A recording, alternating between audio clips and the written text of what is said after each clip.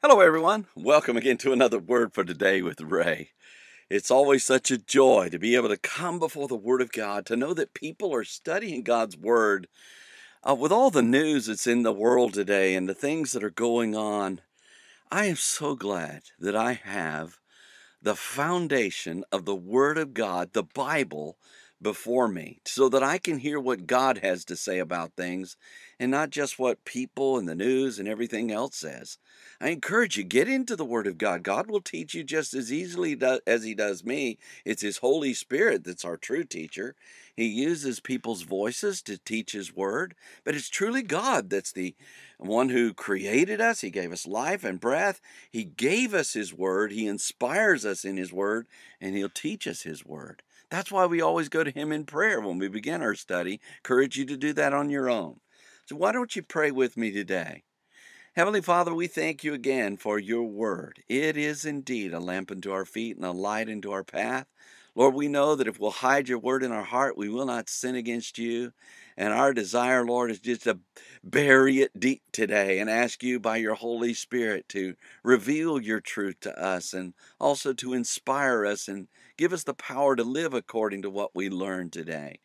We just want to bless you. We want to give you thanks and gratitude that you so deserve for sharing your word, your guide for our lives with us. And we do this in Jesus' name. Amen. The title to today's lesson is if not the Father's works, believe not. It's taken from the book of John, chapter 10, and verse 37. John the Apostle wrote how Jesus said, I and my Father are one. Then the Jews took up stones again to stone him. Jesus answered them, Many good works have I showed you from my Father. For which of those works do you stone me? The Jews answered him, saying, For a good work we stone you not, but for blasphemy and because that you, being a man, make yourself God. Jesus answered them, Is it not written in your law, I said you are gods? If he called them gods unto whom the word of God came, and the scripture cannot be broken, say you of him whom the Father has sanctified and sent into the world, you blaspheme, because I said, I am the Son of God? And in chapter 10 and verse 37 of his book, John shared how Jesus said, If I do not the works of my Father, believe me not, where we read, If I do not the works of my Father, believe me not. The verse reads, If I do not the works of my Father. John began with Jesus' words, If I do not the works, which means whether since on account that I, Jesus, do not perform, make ready, and produce the acts and deeds of my Father, are belonging to my, Jesus' Father God in heaven, John shared how Jesus continued his discussion with the Jewish people who desired to stone him by having them consider the acts and deeds which his Father gave him the ability to perform. The verse continues, Believe me not. John added the words, Believe me, which means trust in, rely upon, and have confidence in me, Jesus, not, or no, and in no way. John shared how Jesus told the Jewish people who were to stone him not to trust in him if he didn't do the acts and deed of his God his Father.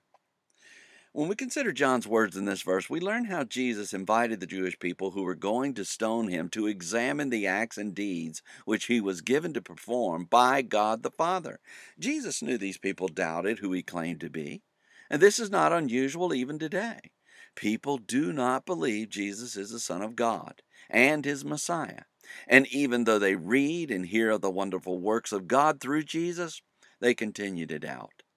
God's desire is to have a personal relationship with every person through Jesus. And when they surrender to Him, they will be forgiven of their sins and inherit everlasting life with God. And those who are wise will reject the way of the Jewish people who wanted to stone Jesus and simply yield their lives to Him. Next time, John shares how Jesus said, Believe the works.